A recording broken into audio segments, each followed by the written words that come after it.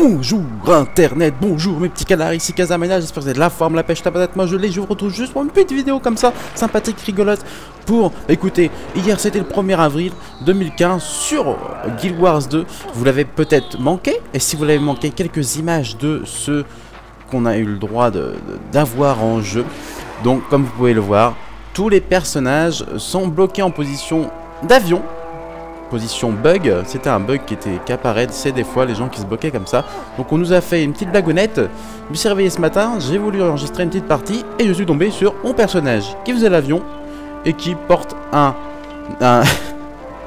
un casque d'aviateur et qui fait des petits bruits. Oui. Voilà, voilà, voilà. Donc on est tous comme ça. Et puis ils ont rajouté un espèce de filtre film muet assez intéressant, assez rigolo. Et donc voilà, je me retrouve au milieu des gens. Ah, il y en a un qui arrive à jouer de la musique. Alors même le slash dance c'est un petit peu euh, ridicule. Enfin bon voilà les amis.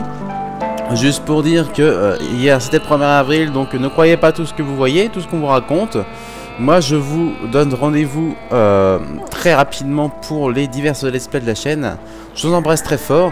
Et un petit clin d'œil, un petit bisou à nos, euh, à nos chers développeurs d'ArenaNet.